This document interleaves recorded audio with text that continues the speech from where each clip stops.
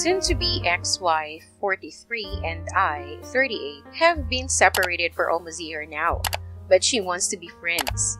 Want to move on with my life, but she keeps hounding me to be friends. Obvious throw away. I need to get this off my chest as there have been a few times since the separation of where I miss her, but I also remember the times where she caused me hell. There's a lot of lies, deception, and mislead from her that lead me to this point. Not saying that I was perfect husband, as no one is perfect, but it's still exacting the reality of my life. Before my soon-to-be ex-wife got married, let's call her Nicole, we dated for a few months in my early 20s. I was considered her fling from her boyfriend at the time that she was with a break on. We had fun, but her then boyfriend at the time and her decided to get back together. Finding this out, I wished her nothing but the best in life. Moved on with my life at that time and didn't talk to her for almost a year. The fling was February 2006. It ended in mid March of that same year. Cut to almost a year later, she calls me out of the blue and tells me she wants to meet up and catch up. During that time, I was busy with other things in my life, mainly figuring things out and dealing with other personal issues that were happening at that time. I said sure. So, Nicole apologized and said that she was sorry for ending things the way they did. I shrugged it off and told her something along the lines of that it was water under the bridge.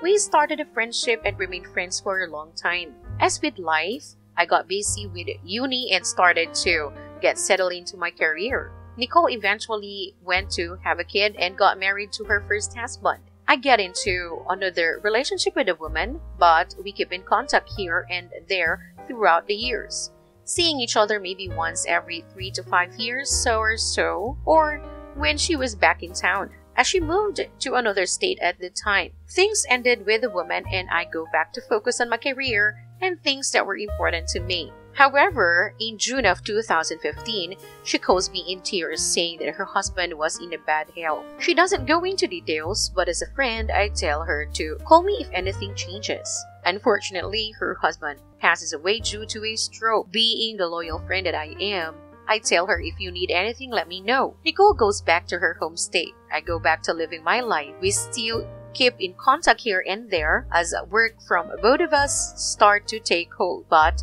we hang out and chat when she's back in town or talk on the phone and catch up with things that are going on in our lives. With the abridged version of the backstory out of the way, this is where we get into the meat of the issue. We thought it was a good idea to give it another shot in 2019. We were at different stages in our lives. We both had deep feelings for each other. And both felt that the dating market isn't what it used to be. Yes, in hindsight, I was settling. Yes, I get that. I digress. So, we got together and we eloped to Vegas in late 2019. We got married January 2nd, 2020. Yeah, right before we got married, I sat down and went over everything with her. You see, I made a mistake of not living together with her first. She lived in another state, I live in another state. But we were both in the same time zone and less than a day's drive from each other. So I told her what my financial goals were, life plan, what state I wanted to live in, etc. She was on board with everything. I asked her if she was okay with this, and she told me yes. And I asked her what her financial books looked like. As I opened up mine, also, she told me, except for a few huge tidbits. Oh, I'll get to that in a moment. Figured I've known Nicole for almost 20 years. Why would she lie to me? Oh boy. Right before COVID hit, I moved up to be with Nicole. We both agreed that I would move up to where she was. We picked the city to move to, and within a few months, we go there. Well, COVID looked at our plans and went, yeah, no. Nicole lost her job and I was in a new city and I was looking for one. I told her that we've got this. We are a team. If things get low, I can help with what I can with my savings, and I'm sure you can tap into your savings if things get low.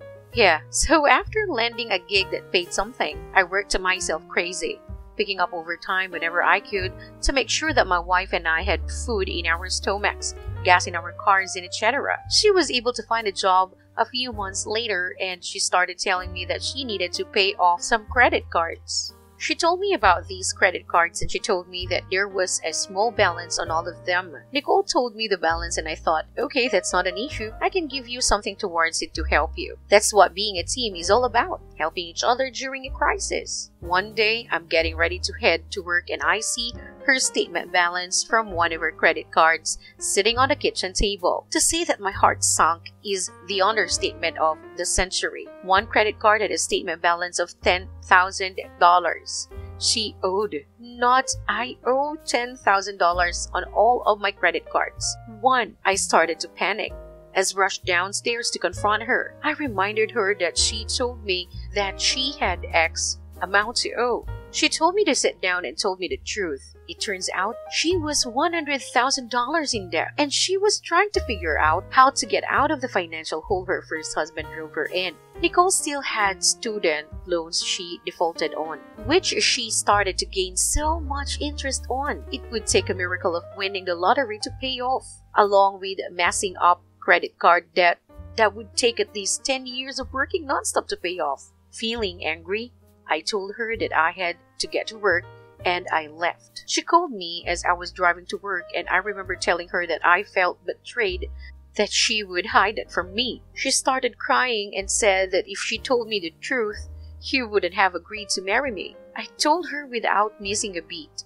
And you're right. During the drive, I told her that we need to put together a game plan. While getting through my scheduled shift, I decided to step up to the plate and take on as much overtime as I could that time. Talked to her and said that in order for me to help you, I need to work as much as humanly possible to make sure that I can help to get you out of this. So I did. I worked for almost a month straight with no days off. Keep in mind, this was during the early days of the pandemic and I needed a cash. All I kept thinking about was, I need to step up and help my family. So I did. One of those things was that I told her that she needed to file for bankruptcy. She started to get mad and told me that she can't because she was trying to buy a house. My jaw hit the floor. I told Nicole, you are $100,000 in debt. Any financial lender is going to look at that unsecured debt and go deny. It's not going to happen. Here's the best plan. Let's take some money, pay off a good chunk of that debt,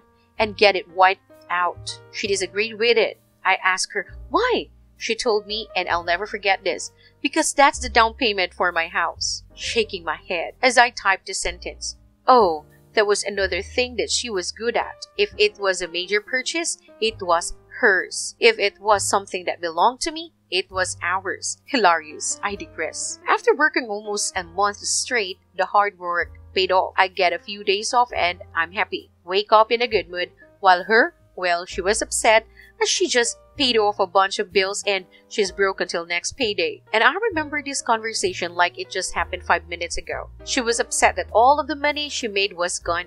Well, I was in a good mood. She looked me dead in my eyes and went, Must be nice to have no credit card debt and to live like a cheap college student for so many years. I lived like a cheap college student for years, as I always maintained a cheap cost of living, while making sure that I had at least a six month emergency fund saved up. I told her that I will go to the bank and give her some money. This only made her even more upset. She was upset that she had to beg someone for money. I reminded her that we're a team and that she didn't have to beg for me anything. However, the pressure of constantly working, COVID, and finding out more things that she lied to me about started to come to light. The cherry on top was she accused me of cheating on her. Why? Because I was picking up more overtime. Was I talking to another woman? No. I gave her my phone and told her to go through it. She didn't. I said, Why not, Nicole? Her exact words were, Because you probably deleted the messages or have her saved under a man's name. The frustration of real life, being locked down, and being accused of something I didn't do, well, it started to take its toll on me. After finally reaching my breaking point, I left my marriage in late May of 2020. There were times where I cried myself in car alone, feeling betrayed, hurt, and lied to over someone that I fell in love with, someone that I called my wife. After being accused of doing something I didn't do, wanting to do the right thing by helping someone I loved to get out of the hole they were in, It was never enough. I was a pawn out of her poor life decisions. That's something that I had to realize, and it took a long time to get over that pain. Did we try to make it work for a second time? Yes. I had to forgive her, and she had to forgive me. She promised that she would change. But it started to get worse the second time around. She still accused me of cheating on her. She accused me of lying to her about money. I didn't. Nicole accused me of having a mistress while we were separated. I didn't. Eventually, enough was enough. This time, it was permanent. I started to develop headaches, I mean, massive migraines, and I started drinking. For your information, I don't drink. Before we got married, I rarely touched the stuff. In my college years, I was a heavy drinker, but it started to interfere with my professional life and I had to seek the right help and overcome my demons. I have. I started to notice a change in my behavior. I was crestfallen. I was sinking deeper into an abyss of sorrow and unhappiness. I hated what I was becoming. I knew I had to make a change and quick. In the middle of the night, while she was at work, she worked at a second job at a hotel. I threw my clothes into garbage bags. A dear Nicole let her my ring and left in the middle of the night. That was August 2021. Nicole has tried to make contact with me during that time, but she has been blocked on everything social media, phone number, etc. All except email is the only way to get in contact with me. I left a broken man once again. However, all the moment I left, the headaches disappeared. I still felt lost and confused and wondered what was going to happen next. Tears waved over my face once again as I drove back home. Since that time, Nicole has reached out and has asked me many times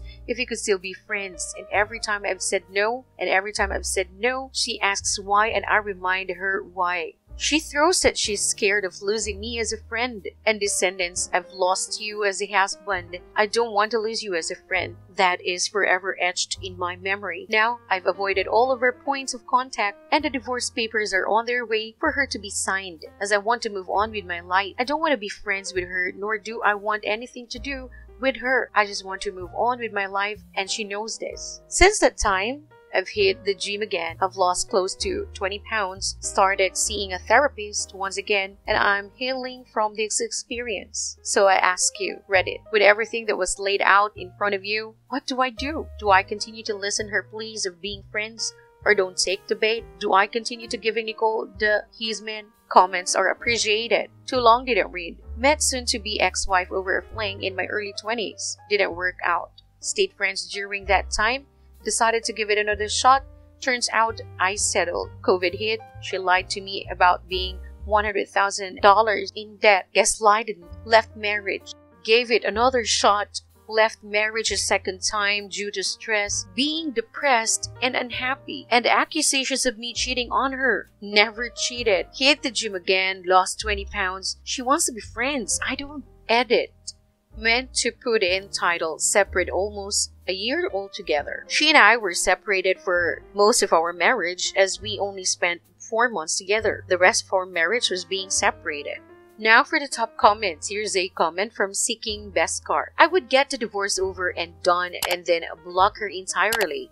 Personally, lying about things like that is a huge thing and this all sounds like quite the disaster. And the constant accusations? Care enough to get to anyone and cause so many issues. I wouldn't want to be friends with someone who hid that knowing it would stop me from marrying them either. You have to do what's best for you in this situation and it doesn't sound like friendship, is it? Here's a comment from Bloody Mary HB. She has never been your friend. You were her backup plan all this time. That's why she kept the contact here and there. You have no intention to keep that road, So move on and never look back. Even your body, more explicitly your health, is telling you to go away as far away as you can.